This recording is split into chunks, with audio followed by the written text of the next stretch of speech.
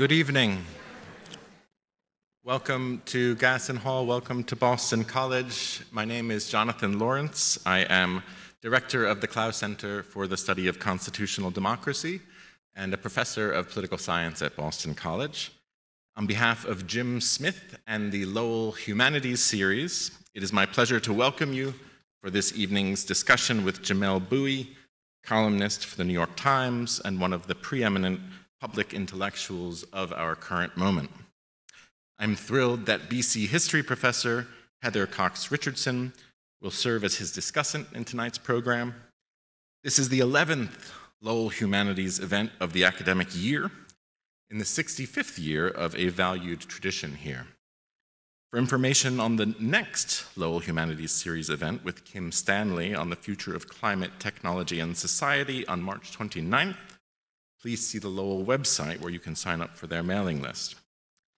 This evening's discussion opens the Clough Center's two day symposium on journalism and democracy. We are delighted to have Jamelle Bouie as our opening keynote, and similarly excited to be joined on campus by a number of other distinguished guests from news organizations and universities across the country. This symposium brings to a culmination a year that we have dedicated to the study of journalism's roles in contemporary democracies. Democratic societies have relied on the press to inform citizens about their political systems and to keep communication and deliberation alive. But a series of crises has rattled public confidence in the resilience of representative government at the same time that trust in news media is declining. Is the erosion of trust due to the spread of disinformation or to the decline of local news sources? Can the media serve as a set of guardrails for our constitutional order? Are journalism and democracy mutually reinforcing? An impressive lineup of scholars and experts will have much to say about these questions and more as our symposium continues tomorrow. The program runs all day Thursday, and on Friday morning, other keynote speakers include Ron Suskind, Charlayne Hunter Gault, and Maria Hinojosa. Please join us for more if you can. But now to introduce this evening's main speaker. Jamelle Bouie joined the New York Times four years ago, in January of 2019, after making a national name for himself during previous stops at the Daily Beast and Slate magazine, with extensive writings on racial politics, including the 2014 Ferguson unrest, the 2015 Charleston, South Carolina church shootings, and the Black Lives Matter movement, among other issues. He's been a political analyst for CBS News since 2015 and frequently appears on the Sunday morning show Face the Nation. He was chief political correspondent for Slate, a perch from which he consistently drove the understanding of politics deeper by bringing not only a reporter's eye, but also a historian's perspective and sense of proportion to bear on the news. Before he joined Slate, he was a staff writer and held fellowships at the American Prospect and The Nation, and his writings have appeared in the major storied publications of American journalism The Atlantic, The Washington Post, Time, and The New Yorker. In recent columns, he zooms out from current events including police accountability, gun violence, recent legislation targeting wokeness, to cover topics like how to engage in political friendship across divides, how to bring greater dignity to US politics, how to combat cynicism and reestablish the links between citizens and those who represent them. The weight of history is ever present and he mines the 19th century for lessons and morals for our current challenges, bringing its concerns and its distinct language to bear on everything from economic redistribution to the state of race relations. What one first notices about his columns is that they demand more of readers greater word counts, complex thought processes, all elegantly written in a medium form that goes against the soundbite culture. It is most unlike the previous generation of pundit who might fluff their way to a punchy conclusion that makes you nod your head. Reading Jamelle Bouie requires a certain concentration of mind. He makes each paragraph count and brings rigor to the topics that he chooses. That he does so from the position of an opinion column grants him unusual license to combine it with a normative agenda, calling out the unfulfilled promise of freedom and equality. He shows how the past reveals itself in the present and how policymakers and citizen activists can seize the power of information to make a difference. And in so doing, he provides a model of one of the crucial roles of journalists in our democracy, in any democracy, really. After delivering his lecture, Jamelle will be joined on stage by Heather Cox Richardson, professor of history at Boston College and an expert on American political and economic history. She's the author of six books on American politics, including most recently, How the South Won the Civil War, Oligarchy, Democracy, and the Continuing Fight for the Soul of America. And her new book, Democracy Awakening Notes on the State of America, will be published in September. She is a leading Twitter historian, explaining the historical background of modern political issues through Twitter threads, and the author of the widely read Letters from an American a daily chronicle of American politics. After engaging together in conversation, Professor Richardson will open the floor to the public. At that time, please raise your hand if you have a question, and someone will bring a microphone to you. I'd ask you at this point to please turn off your cell phones or noise making devices and to please remain for the entirety of the program to avoid creating any distractions. I could not imagine a better speaker and a better conversation partner than Jamelle Bouie, whose work fits perfectly with our symposium. His address this evening is entitled Defending Democracy The Political Role of Journalism. Please welcome me, please join me in welcoming Jamelle Bouie to the podium.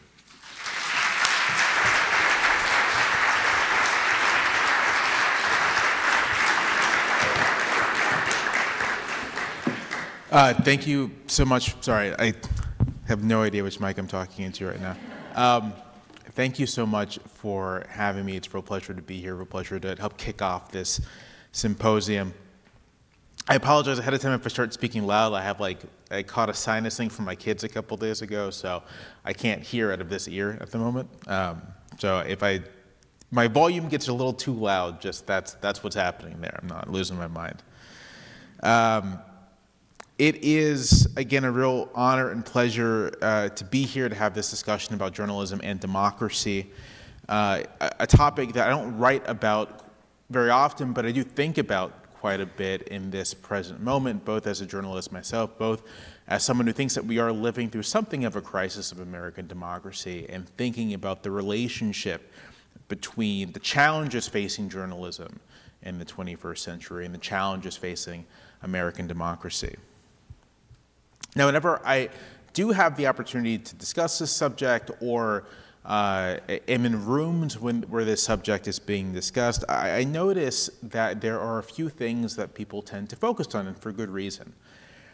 Often, when we are thinking about the problems facing journalism and the problems facing democracy, we're thinking about misinformation, we're thinking about disinformation, about partisan silos. I was recently at an event where this was more or less the exclusive topic of conversation. How can we get Americans to take in more accurate sources of information? How can we challenge fake news? How can we make sure that people are hearing different perspectives than their own, getting outside of their ideological silos?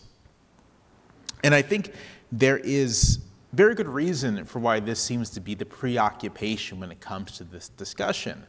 We are, have all been witness to basically a political movement centered on fake news. We were all witness to the attack on the Capitol on January 6th, which itself was rooted in a set of falsehoods about what happened in the 2020 election, a set of falsehoods about what, is what was happening in the United States at the time.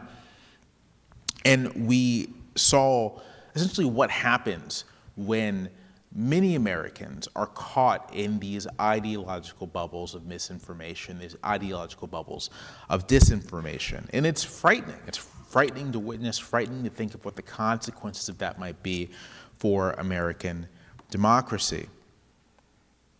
And it leaves us with some urgent questions. How can we ensure that Americans are getting accurate information? How can we help people resist conspiracy theories? How can we encourage readers and viewers and anyone else, again, to get perspectives outside of their own, whether that is through print media or broadcast media or social media? Now, I do think that these are important questions. I think these are worth grappling with.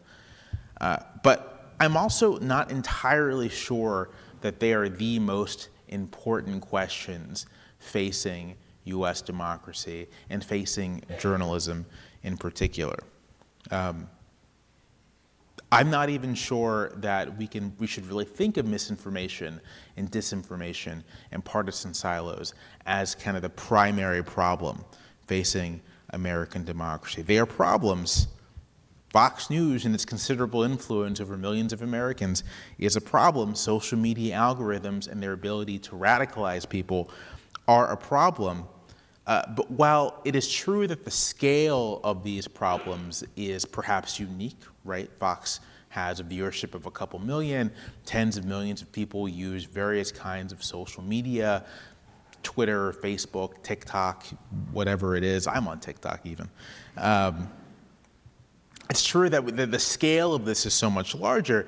It's also true that Americans have never been any particular strangers to misinformation, disinformation, and partisan silos. You can even make the case that it is objective media that is the unusual thing in the American experience of information, not misinformation and not disinformation. From the very beginning of what you might call American political life, we, uh, uh, the way we engage with our information environment has been marked by what you would, you might call fake news. The information environment of the early American Republic, the 1770s and the 1780s, was saturated, rife with conspiracies and misinformation. Some of this was because Americans at the time didn't have a sense that larger impersonal forces could shape events happening in their lives. And part of it was just because Americans at the time were extremely paranoid and believed all kinds of crazy things. The election of 1800 is instructive here. Uh, it's, it's one of my favorite elections. It, strange thing to have a favorite election from the 18th century, but this one's mine. And I, I think it's so interesting, uh, in part because it, it's a great example of negative campaigning, wild insults being thrown between the Adams and Jefferson's camps, um, but also because the political climate at the time was a fever swamp of conspiracies. You had Federalist supporters of Adams worried that Jefferson would bring about some Jacobin uh, terror on the United States. You had Republican supporters of Jefferson, the old style re Republicans, confusing, but Democratic Republican, I think is what they say now, um, who were convinced that Adams would impose a new monarchy on uh, Americans, on the United States. And in partisan broadsheets, in pamphlets, these ideas were just put forth all the time. They're part of the American political discourse. And again, something we would recognize today as being a form of fake news or a form of misinformation. If we move into the 19th century, we should remember that for more or less for all intents and purposes, there was no press but the partisan press. There was no objective press. It was Democratic or Republican, Whig, Free Soil, liberty. Each party had its own papers. Each party had its own partisan, each paper had its own partisan perspective. Uh, local political machines produce their own newspapers for their supporters. And again, in all of this, conspiracies and fake news and misinformation and disinformation is part of the, of the currency of the realm. On one side, for example, in the 1840s and 1850s, you had what was called the slave power conspiracy, the idea that there was a elaborate conspiracy of slaveholders who were controlling the federal government and trying to expand slavery nationwide. As a quick parenthetical, I'm not sure that was really a conspiracy as much as it was the case, but um, uh, it was understood as being a conspiracy at the time, and we refer to it as the slave power conspiracy. And then for slaveholders, they had the Black Republican conspiracy that the Republican Party or the various anti slavery parties were out to create social equality, to rise uh, the, the enslaved to the level of the white man, and to, you know, to, to make the country a black man's country. And this, these, these, uh, these conspiracies, these views were circulated in papers, circulated in pamphlets, circulated in the media environment. If you opened up the New York Tribune in the 1850s, you would see a denou- denouncing of the slave power conspiracy. If you opened up the De Bow's Review uh, down south in Louisiana, you'd see someone denouncing the black Republicans. Again, this is just how Americans engaged with news, engaged with information, not through objectively working through the facts, but through dramatic conspir- conspiracies, through dramatic uh, uh, uh, uh, misinformation, through spreading all kinds of rumors about their political opponents.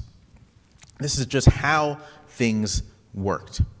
Uh, we tend to remember the 20th century as the age of the broad minded and objective journalists. But until the Second World War, until the Second World War really transformed American society in these very critical ways, the information of American life, uh, information environment of American life looked much the same as it did throughout the 19th century.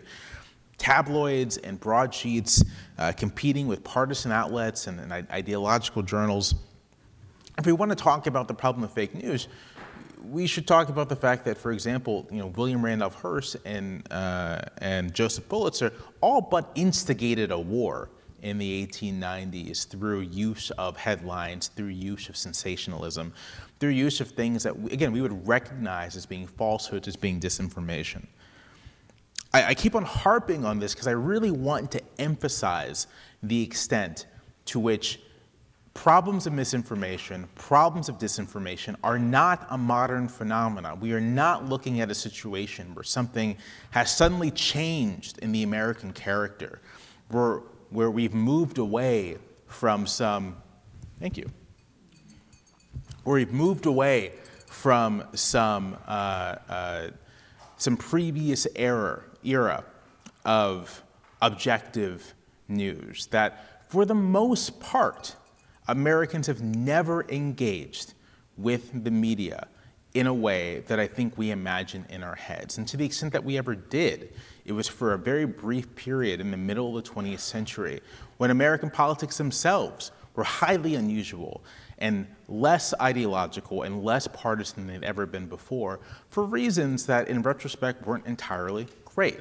We took issues of basic human rights off the table, which enabled our political system to work in this consensus driven way. But once those things got back on the table during the 1960s and 70s, we moved again towards partisan and ideological polarization. So, our, our, our current world of misinformation, of disinformation, of partisan silos, of all these things, it might be a departure from the middle of the 20th century, where these large news organizations dominated national newsmaking, where, where there was something like an objective mainstream news environment that people got their basic facts from. But it's a return to the world before that, a world where news was much more fractured, which was much more partisan, was much more ideological, and where Americans never really had a singular set of facts on which they made decisions about what was happening in the country. And if we're returning to an older kind of information environment, if we're returning to a time when misinformation and disinformation were just more a common part of American political life, then for me, it's difficult to say that these things are the problem, right? If they've always been here, and even if the scale is a little different, even if the scope is a little different, even if the mechanisms are a little different, if the basic phenomena has always been with us, then can we really say that it is the problem? I don't think we can.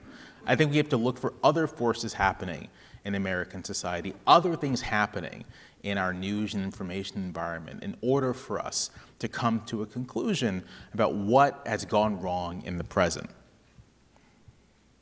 Now, if we're looking for culprits, if we're trying to understand the forces that have severed many Americans from democratic values, that have rendered many Americans vulnerable to the spell of petty would be authoritarians, then I think we need to look for a much more fundamental change in how Americans experience politics and experience the world.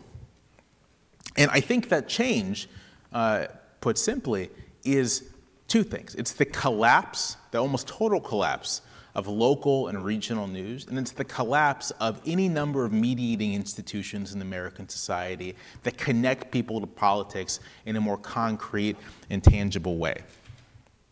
Let's re- rewind back to the 19th century, the place where I feel most comfortable as a person. It's very strange, but that's, that's what it is. In Democracy in America, uh, Alexis de Tocqueville examines the role of the free press in American democracy. It's kind of a consistent theme throughout the book. Um, the free press, because again, he's writing for a European audience. He's writing for basically a bunch of French aristocrats for whom the free press isn't really a thing uh, in the same way that it was in the United States. And so he's trying to explain exactly what this is and the role it plays in American society. And what Tocqueville concludes is that newspapers in the press do basically two things. They provide information for people, that's straightforward. They tell people what's happening in their communities, what's happening in the world around them. But they're also, in an unusual way, constitutive of the people themselves. Uh, here's Tocqueville. It would diminish newspapers' importance to believe that they serve only to guarantee freedom. They maintain civilization. Now, what Tocqueville means here is that by disseminating information about the community and revealing the state of the community to itself, the free, the free press essentially helps create it as a thing and helps create the associations that act on that community and act within it. I, before now, like an hour ago, I spoke to some students, and I'm gonna, I'm gonna bring in what I said to them to y'all, uh, which is I live in Charlottesville, Virginia and we don't really have a, a, serious newspaper where you have a single outlet that has maybe one or two reporters, and we have um, one nonprofit news organization. A couple years ago, a young woman in the community took it upon herself to start sitting in on every single meeting, city meeting that was happening. Doesn't matter what it was city council meeting, uh, planning commission, the tree commission, all kinds of things. And she would write about this on Twitter and publish her notes as well. And so a bunch of people who are on social media just began following her and following uh, her notes about what was happening in city meetings. And an interesting thing happened among a lot of us who were following her, which is that we are newly informed about the things happening in our city government. And it turns out we have opinions about them. It turns out I have opinions about the number of parking spaces in the downtown area of Charlottesville. And having realized that we have opinions, having discovered that other people have similar opinions to us about what is happening in these meetings, what is happening in the city, quite a few of us took it upon ourselves to begin to get involved in actual city government, recognizing that you can just sign up to be on a commission, you can just start attending meetings, you can start speaking at public comment, all of these things. And it was this demonstration essentially of Tocqueville's observation that the presence of information, the presence of news, of the free press in this regard, helped not just reveal information about the community to us, but also created its own kind of association of people who wanted to now act on that community. Here's Tocqueville again. If there were no newspapers, there would never be common action. It often happens in democratic countries that many men who have the desire or the need to associate cannot do it because, all being very small and lost in the crowd, they do not see each other and do not know where to find each other.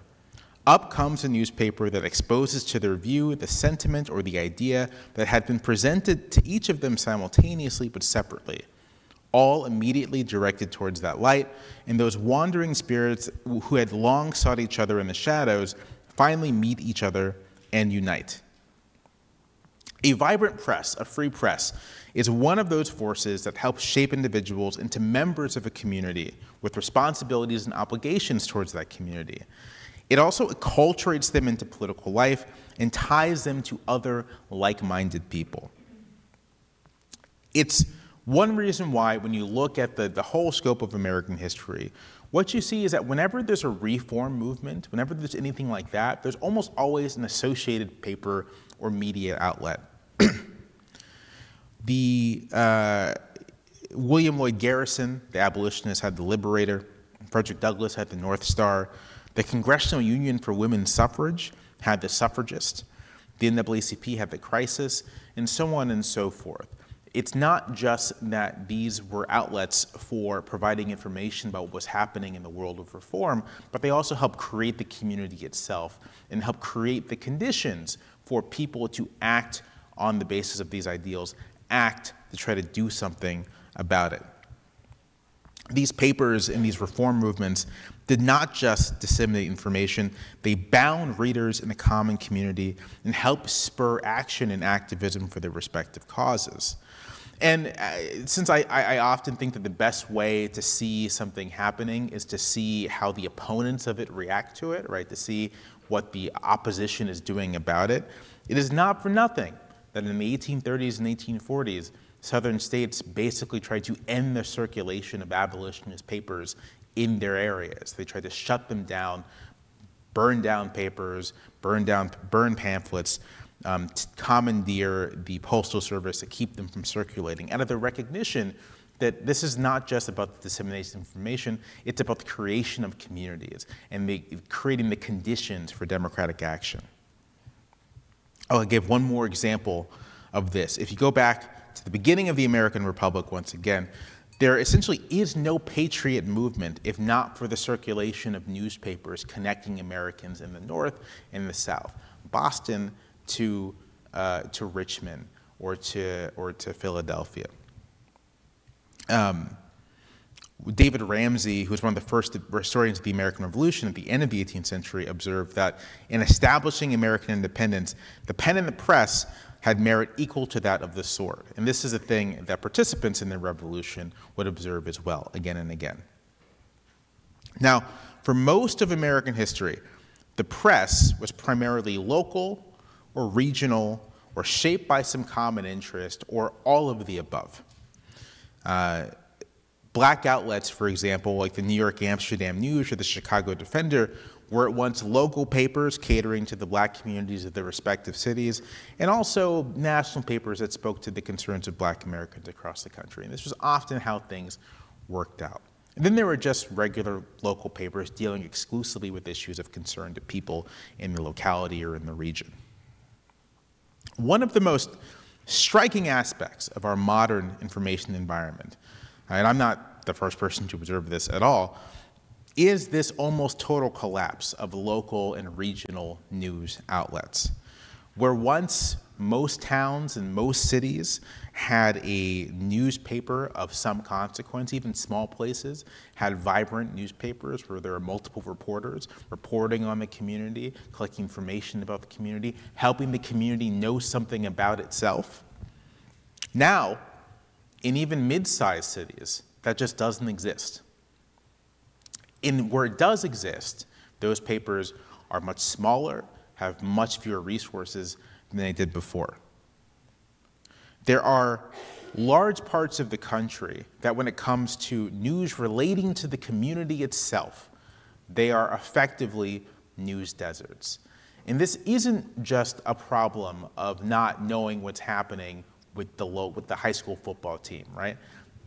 this is a problem of not knowing what local officials are doing with taxpayer dollars. This is a problem of not knowing how your representative to the state house or to the state senate is voting. It's a problem of not knowing whether there's corruption happening in your local or county or state government. I think that this decline of local and regional news, which is profound, which happened very quickly over the course of just a couple decades as a combination of the internet and economic downturns ravaged the news business across the board.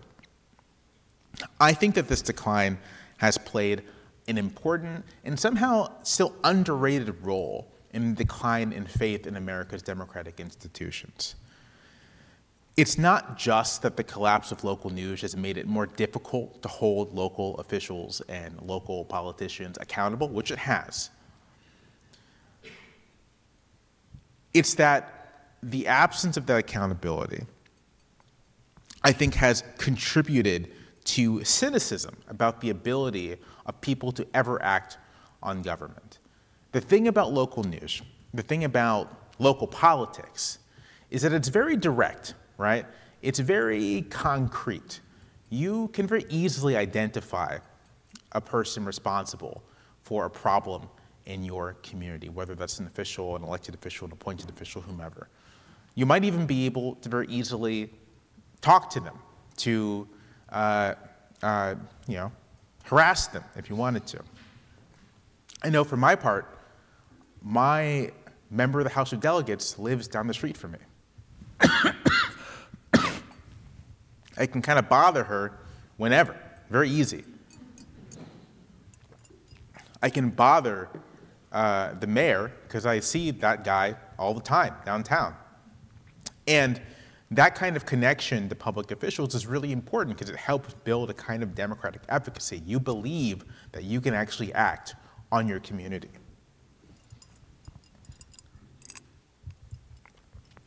And part of facilitating that is local news, um, is the information that it provides uh, to understanding your community. As uh, the, the Brookings Institute had a, had a paper on this recently, and it observed that as Americans have shifted away from local news, excuse me, turnout in state and local elections has fallen. In communities that have lost reporters have seen fewer candidates run for local office. And this sort of gets to what I'm saying. The, the absence of serious local and regional coverage kind of for lack of a better word, alienates people from the communities in which they live because they don't know what's going on.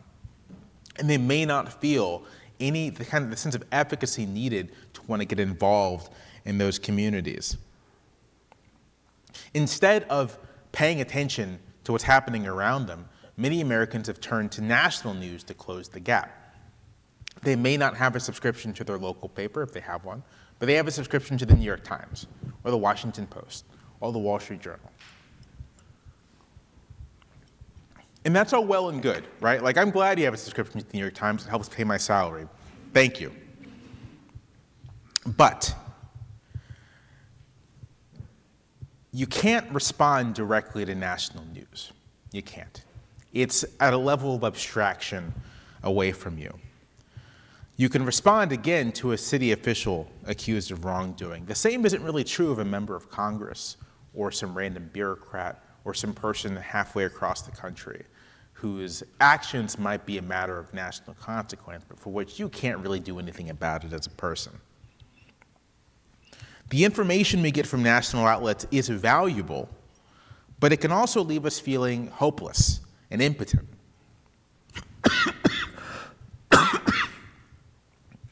it can contribute to what you can describe as political hobbyism a tendency to treat politics not as a cause for action and an essential part of citizenship, but as kind of like a game, kind of like sports, something to pay attention to, to keep track of your team, to see how your team is doing. And for some people, to, uh, to root for those that, that embarrass your political enemies. Uh, and root for, root for people who make you feel good about your own political identity. Now, there's always been this element in politics, which is, I think, an element of entertainment. I think it's just part of living in a mass democracy. That's part of what mass media is. But for as long as there were these institutions, like local journalistic institutions connecting people in a concrete way to their communities, it was tempered somewhat. But now we have an almost total devolution of entertainment into politics and in political news. We have, in addition, an almost total absence of institutions that link our political awareness to something more local and more concrete than national political conflict. We don't have local papers the same way we used to. We don't have powerful political machines of the kinds that could shape communities and act on them in a direct way. We don't have unions really anymore, at least not the kinds of union density we once had. And Americans don't engage in associations like they used to.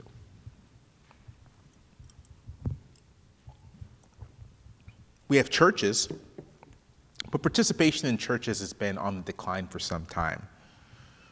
We have very little, in short, that makes politics concrete, that makes politics, excuse me, that makes politics concrete for people. And all of this is exacerbated by the lack and the collapse of local journalism. Which is all to say that rather than focus our attention on misinformation and disinformation, which just might be an endemic part of the American experience. It just might be that Americans love believing nonsense. Checks out to me. Rather than focus all of our attention on these elements of our contemporary political world, maybe we should turn our attention instead to the missing institutions and the missing, uh, the missing people, the missing journalists, that can help Americans better understand and mediate political life, that can connect them to things that are happening in their direct purview and try to turn political news and political information away from hobbyism and towards something much more constructive. There are any number of solutions here. Uh, as far as local news goes, I think one thing that might be worth considering is that if the market just doesn't exist for local news outlets or even regional news outlets, then this might be a place where we act collectively through government to subsidize or provide some sort of subsidy to the creation of local news. I think it runs very counter to Americans' instincts about this sort of thing, the government providing money to news. But if we accept that news and local news is just an important part of making democracy work. And if we accept that the market isn't going to do it for us, then there are only so many other steps to take. if we take seriously the idea that the free press is constitutive of democracy, that it helps shape people into a public as much as it is, as much as it is responsible for informing them, then we need to think seriously about how to reinvigorate the press at the lowest levels. And again, federal subsidies might be the way to go about it. But there's lots of other things. And I think that in addition to thinking about how we re reinvigorate local news, we need to think about how we reinvigorate the kinds of associations that connect people to concrete political outcomes. Whether that is unions or some other thing that connects workers to to you know workplace uh, workplace democracy and also to political life outside the workplace, whether that is um, uh, any kind of civic association, there are many things in this regard that are missing from contemporary American life and which may go quite a ways towards explaining why it is that so many Americans are cynical about their ability to act on politics, cynical about their, their ability to act on democracy, and cynical about democracy itself. One thing that I strongly believe, firmly believe, is that democracy is not just a, a set of institutions. Uh, it's not just a set of processes. It is a practice and it is a way of life. And to do democracy, you have to do democracy. You have to engage in it on a regular basis in your everyday life. It cannot simply be going to cast a ballot every four years or every two years. It has to be everyday experience with deliberation, with compromise, with coming together to find collective solutions to collective problems. Americans are increasingly unacculturated to that kind of democratic life. We don't experience it in our workplaces. We don't experience it in our communities as much. And if we're not experiencing it on this everyday basis, then of course we're going to become cynical about democracy. Of course, we're going to begin thinking that maybe democracy isn't strictly necessary to be able to do what we want to do. The first step towards rebuilding that kind of democratic life, I think, is rebuilding the institutions that help people understand themselves and understand their communities. And that means starting with journalism at the very lowest level, at the very local level. Thank you. Push you a little bit on that. Is there a distinction between objectivity and both sidesing something? I mean, I think in, in how we we tend to use the word objectivity, it's like it's it's we. There's probably a precise way to think about objectivity in which that isn't it isn't simply both sidesing, right? A, a way of thinking of objectivity that is um, trying to reveal the actual state of things, and the actual state of things may not necessarily have two sides to it. I like that. Um, but in practice, right, like in practice, when, when people use the word objectivity, what they're talking about is sort of taking a middle position or taking kind of a, an above the fray position and then um, not even really adjudicating what's happening, but simply offering up what's happening to readers for them to adjudicate. And I'm not necessarily sure that in, when it comes to questions of democracy, that that is the right tack to take. So I have a, a, a, little bit of a different question that pulls off your own work, and that is, while I am perfectly willing to deplore the loss of local journalism, um, like I think everybody else does, it is, I think, something um, that your introducer referred to that um, your, the journalism of people like you, the younger generation of journalism, tends to be far better informed in American history, in American patterns, tends to be longer form, tends to be much more in depth than what we might have seen 15 or 20 years ago. Is it possible, do you think, two things. One, that the reason people have lost track of democracy is because for a long time we were just floating along on the surface and nothing seemed to have any meaning. And that they are regaining their focus on democracy in part because of journalists like you who are like, hang on a minute here, we actually need to look at Reconstruction, for example. Has journalism changed for the better? That's a good question. Um,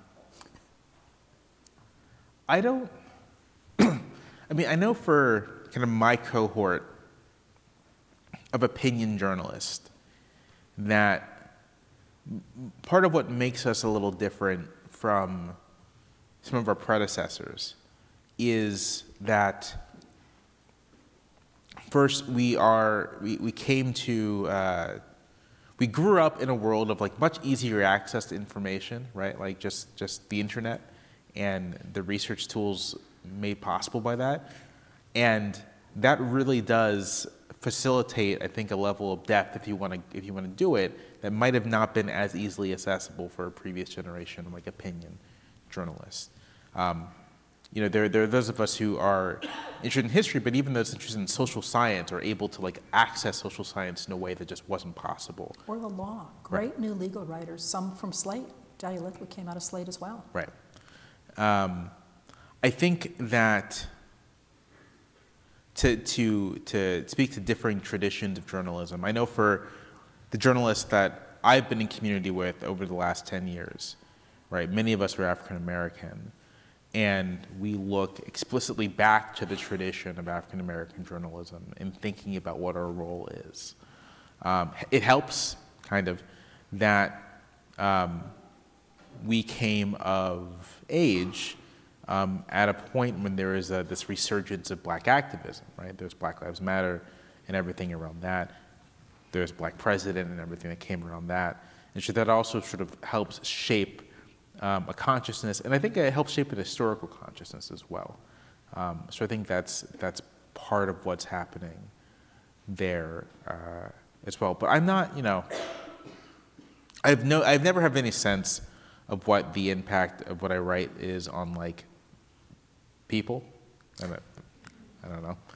Um, I just I'm just on my computer in my house, uh, and I I'm not I'm not sure. I would say that it is changing it, it is changed journalism that is maybe spurring a greater interest in democracy. I think that might just be the product of like events.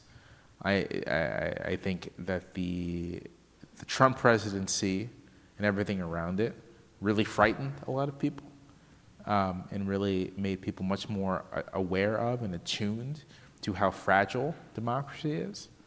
Um, and that has led people to seek out voices to help articulate what's happening, what's going on, some of the work you're doing.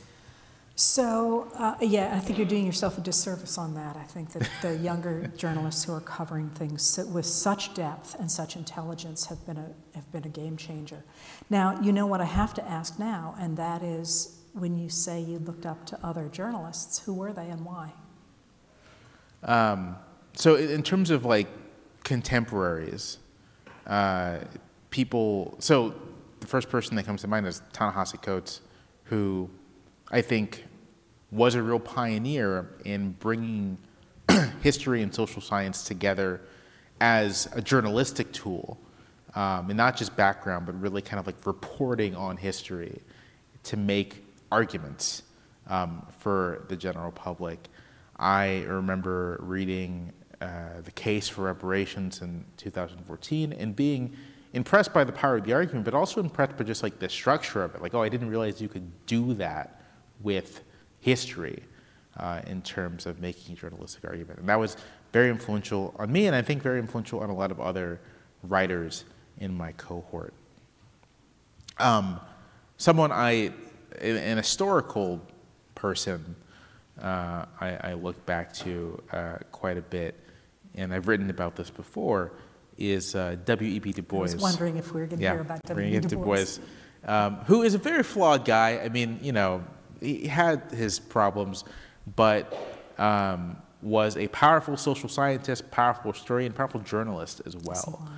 Uh, and his ability to work in multiple genres and multiple fields um, uh, in order to make an argument uh, is something I look up to very much. I'm probably never going to be as good at, at verse as that guy was, but um, integrating social science, integrating history in a journalistic argument is something that he did very well and that I like continue to study um, when, I, when I think about my own writing. Um, so I'm going to ask you to, to push out a little bit here because we are, I think, actually in a different moment than we've been in before, and political scientists who are here will back me on this, I think. They look at the concepts of politics coming out of political technology and the whole idea of instead of censoring what people learn, instead throwing so much at them that they can't, they no longer can distinguish what's happening in the world. And we know very well that that happened in the former Soviet republics and came to America and sort of they fed off each other. But people who are looking at that now wonder a lot what's going to happen when the virtual political reality that was built by those political technologists, people that um, Ron Suskind, I suspect, will talk about because he was one of the people to tumble across it early on here in America. Um, what happens when that virtual reality in which people live, people who watch Fox News, for example, or who follow Newsmax, or who follow the stories that came out of people like Steve Bannon, what happens when that world collapses? The way it looks as if the Fox News channel um, or Newsmax might do going forward? Do those people, are they recoverable by journalists, local journalists or national journalists? Or are they angry and disaffected to the point that they will turn on the system that brought down their virtual world? And I know it's speculative, but it's something that I think keeps a lot of us up at night. Yeah. my, this is also speculation as well, but my, my sense is that the people really ensconce in that world.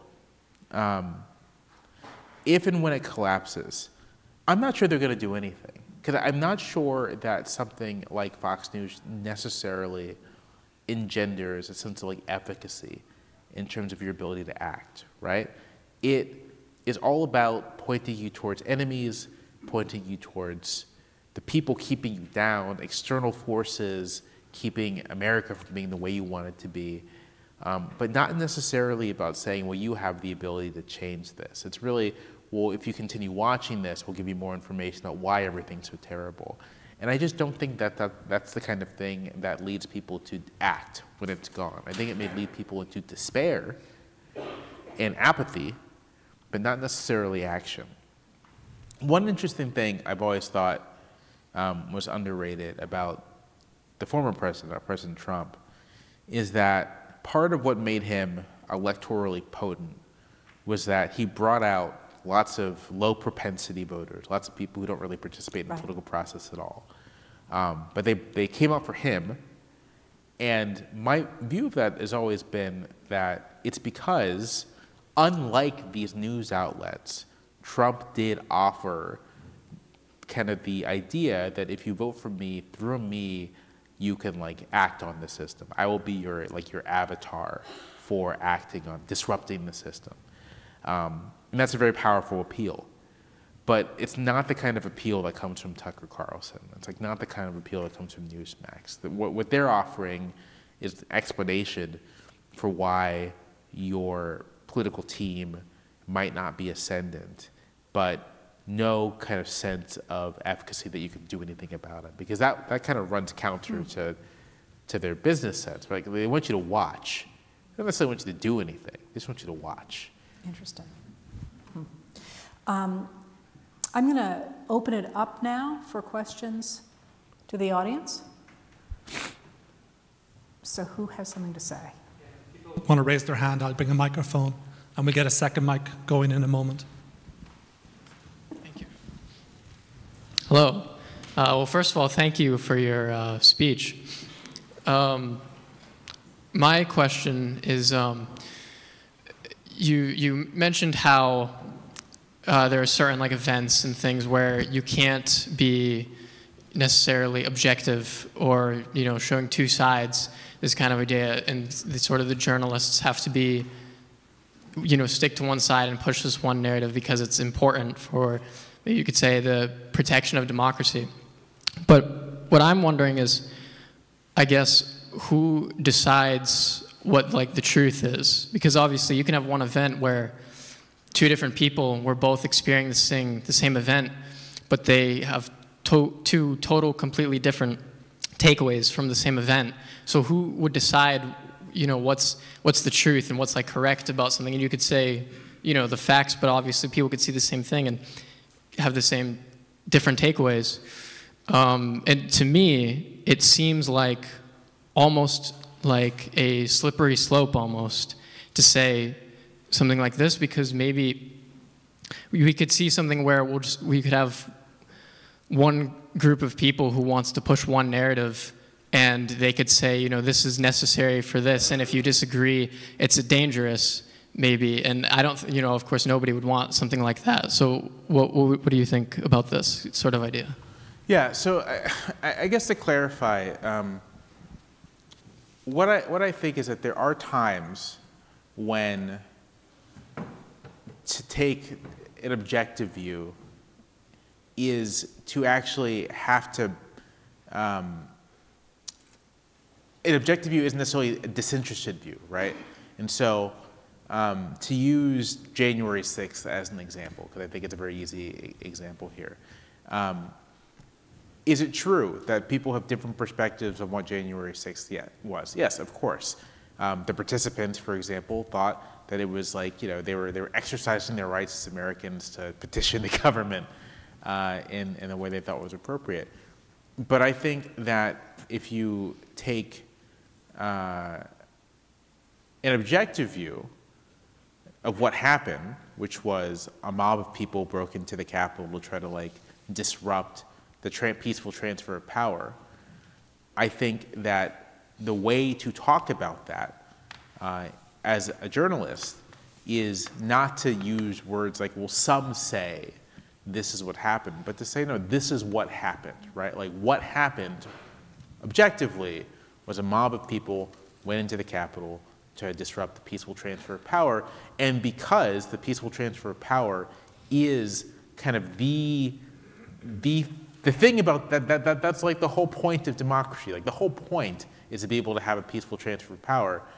Because of that, I think journalists should feel comfortable just condemning it outright um, because of a commitment to these basic ideals of democracy. And although there are differing perspectives on differing events, we do have some general agreement about what the ideals of American democracy are peaceful transfer of power, political equality between people, um, uh, uh, free speech, free press, freedom of religion, these things.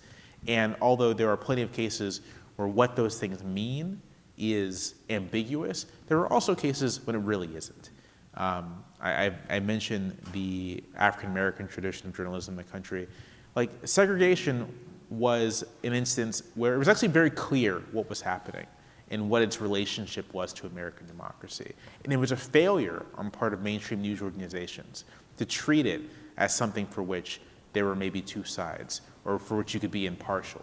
Um, and it was, it was a success of the black press that they didn't treat it like that, that they were very open about the fact that this is in tension with or in violation with the ideals we say we have as Americans. And so, to some extent, there's going to be judgment calls when you're, when you're thinking of objectivity in this way. But also, there are clear, it, it, there are clear cut cases where you can say, this is out of alignment with, our, with the values that we agree upon. This is out of alignment with the values that we hold as journalists, and we should feel comfortable just saying so and not pretending that objectivity requires us to be entirely impartial here. Um, some of this, I think, should be a sense of self-preservation, right? Like the world in which you can disrupt the peaceful transfer of power is not going to be a world that's going to be all that friendly to journalists, and so you want to prevent that world from coming to, coming to bear as much as possible. So we have a question over here. Hi, um, I actually work for an organization as an intern. It's Public Media Journalism for All, and um, I'm wondering, I'm a research intern right now, and I'm wondering what type of work can an association do like that for their local radio and news stations to try and increase the numbers of interactment and outreach that does encourage democratic values? What kind of thing can an association do? And myself and like all of us as individuals, what can we do to kind of promote what you're saying? Yeah. I mean, I think in terms of what like associations and nonprofits can do is they can invest in local reporting and try to disseminate it as much as possible. I mentioned that where I live, we have a nonprofit news organization, and they do as much as they can, both to do reporting and then to put it out there through papers, through audio, um, through all sorts of stuff. And I think that's, um, I think I would, I would love to see more and greater investment from nonprofits and foundations in doing that kind of work. I do think that because this is a systemic problem, like it's, it's not, it's not simply that it's not that people don't want local news. It's sort of like the it, it is not sustainable to do it. Um, it requires sort of like larger collective solutions. Uh, but to the extent that individual people can do anything, um, I think right now it's like supporting local journalism where it exists and where you can. Um, my local paper isn't particularly good, but I still subscribe to it. I still, you know, send them send them some dollars every month. And uh, I think that's, that's the kind of thing that we should work uh, uh, to support, all the while pushing lawmakers to take seriously the problem of news deserts. I think, again, I think this is a, a problem that demands a collective solution. Um, again, people tend to be allergic to the idea of public money going towards journalism, but I think that it's a potential solution, sort of like grants, right, for like for, for localities that want to um, create news organizations would be would be welcome. Um, because although foundations and nonprofits can do a lot of work, I think everywhere deserves um, good local news, and the only way, the, the only entity with the resources to make that happen is the government. Other questions? Um, thank you so much for coming to speak with us. Um, I just wanted to follow up on the subsidizing the news point that you were just touching on again. Um, could you talk about how people, like how governments could get people to trust these organizations when we're already in a climate, I think, where people are so hostile to even their local governments? Like, I feel like we talked about, uh, Professor Richardson mentioned people who come in and talk about uh, books in their communities. There's already a lot of hostility towards the local government. Would subsidizing the news be the best solution when people already have such a lack of trust? You know, like have has it already gone too far? I guess is my question. Yeah.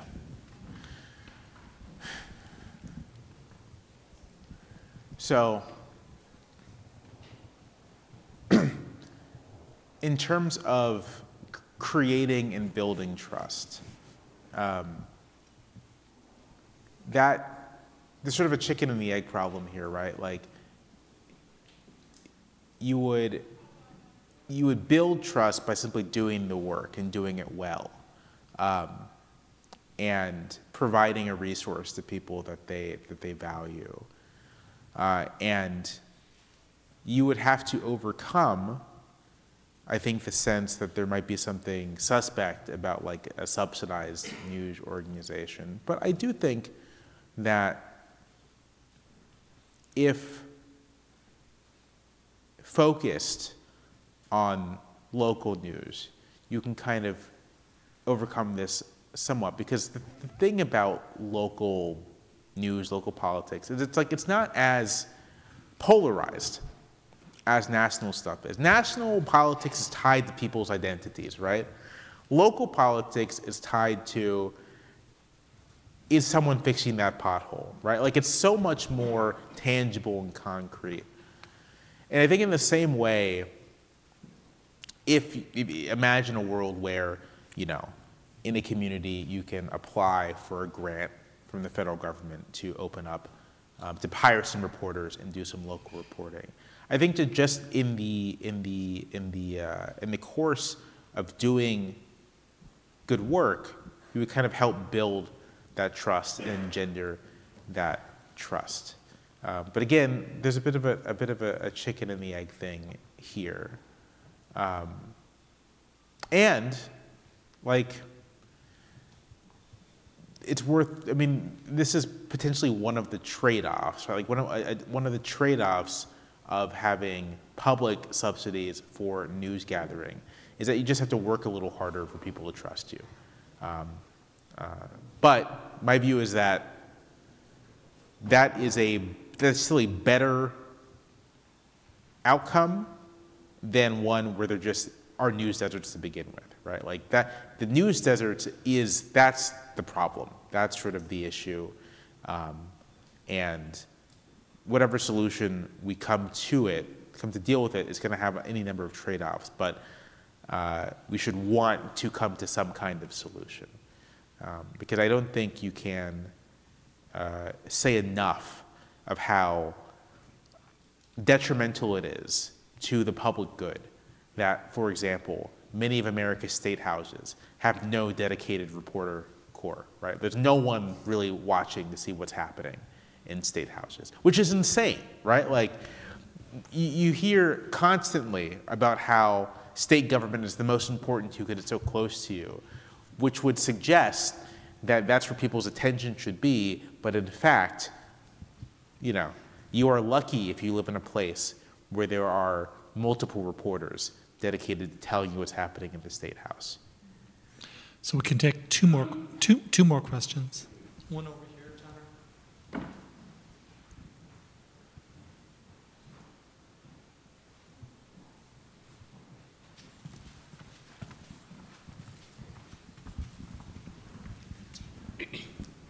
Uh, so, do you think that if there had been uh, well established, well resourced local news organizations at the start of the pandemic and in 2020, there would have been more digestible, less polarized science communication that might have been more effective in lowering mortality morbidity rates? Like, I guess I'm trying to apply your idea to a tangible circumstance.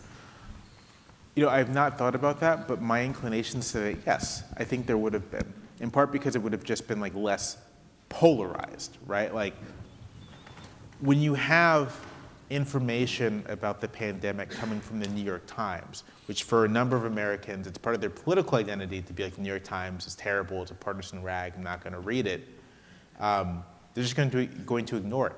And if they're getting the information from um, some other organization, some paper, some whatever, that is more in line with their political identity, that's what they're going to listen to. But in this alternative world, where maybe when it comes to their political entertainment, they're watching Fox News, but when they want to know what's happening down the street, they're picking up a local paper.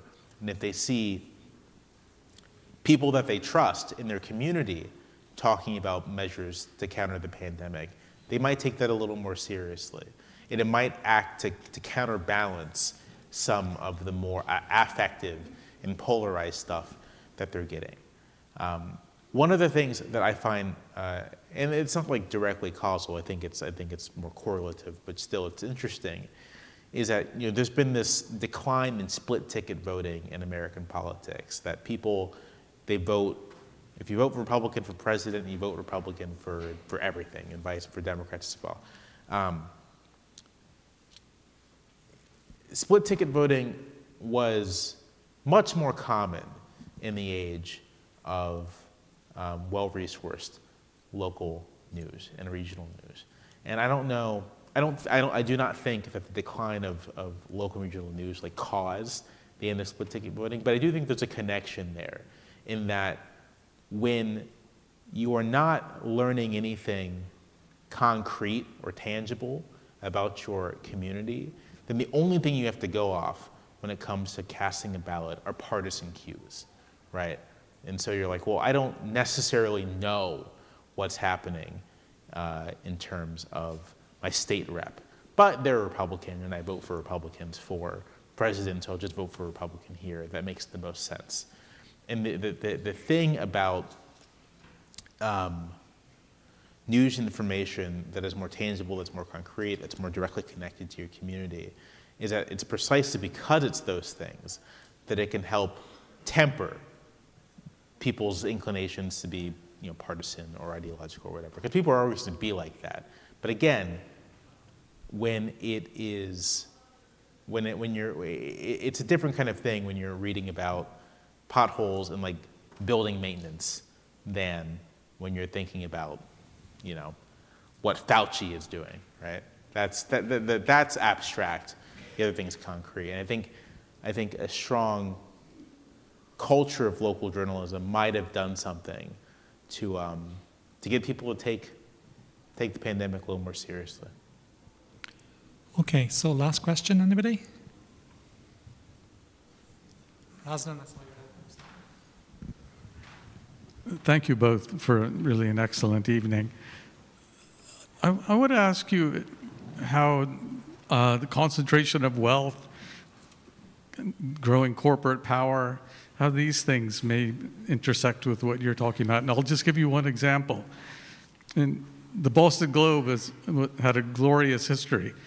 And, and its decline, I would say, began when, when the New York Times took it over. And then it kind of hollowed it out. And it's really kind of an, a, a shell of what it used to be. And I've been reading it for 40 years now. So that kind of corporate uh, power how does that affect journalism, democracy? Yeah, I think with, um, with local and regional news outlets, the thing you have seen over the last 20 years are basically like private equity firms buying them up and then gutting them, um, uh, uh, loading them up with debt, or uh, uh, taking advantage of like the real estate holdings and selling those and, and, and turning a profit that way. I think, um, you know, in in Charlottesville, where I live, some capital group owns our local paper and is like systematically like taking it apart, um, sold it for, for spare parts more or less. And the, extent to which our sort of like regulatory regime and our political regime kind of encourages this sort of thing, like makes this a profitable way of, of doing business, is obviously a problem. Um, but I think, you know, I, I, the the the collapse of the business of journalism as a result of both like some you know mismanagement, but also of just like larger economic forces um, especially kind of just the emergence of the internet, uh, like left the entire industry flat-footed, and it's in that environment that like these sort of like this cor corporate power can kind of work its work its will. And I think what Americans took for granted was that there'd always just be like a vibrant news ecosystem. And what we've learned is that you actually have to tend to it. You have to like sustain it in some way, shape, or form. And to get to what I said a little earlier, if we can't necessarily sustain it, be market forces. If in fact market forces are going to be corrosive to it, both in terms of just not being able to sustain the business journalism, and again, these corporate entities like using, seeing newspapers and other journalistic institutions as like quick cash grabs rather than, rather than anything to kind of sustain for the long term, then there has to be some other option. I know, you know, there was some uh, hope. A couple years ago, billionaires started buying up things like, what is it, Steve Jobs' uh, Laurene Powell Jobs bought The Atlantic. Bezos, the Washington Post, and there was some talk of like, well, maybe it'll just be, maybe one upshot of our insane income inequality is that all these billionaires want a legacy project and they'll buy newspapers, um, which hasn't really worked out. And I think it's a testament to the, to the fact that if we want to preserve a vibrant free press, then we're going to have to just act collectively to do it and find some way um, through collective efforts to, to, make that, to make that happen, to make that work. And again, maybe get over some of our hangups about um, using the state to, to, to, deal, to deal with this problem, deal with this issue. And I should say, just as one last note on this, we have these hangups about the state. But like, you know, ben, Benjamin Franklin ran a newspaper press.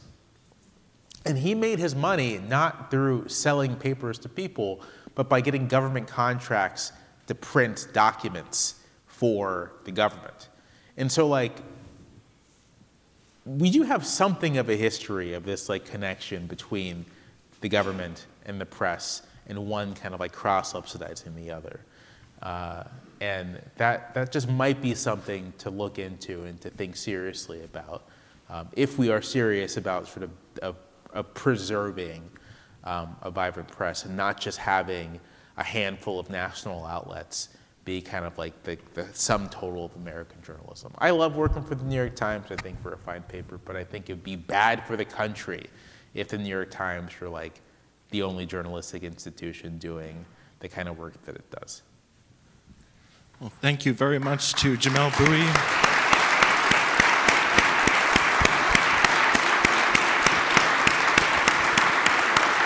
Thank you for these, these powerful remarks. Um, thank you also to Heather Cox Richardson for the probing questions and for exemplifying much of what uh, Jamelle was speaking of.